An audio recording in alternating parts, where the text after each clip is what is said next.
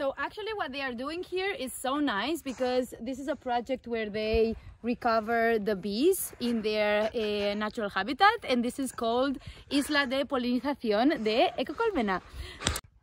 Three, two, go, one.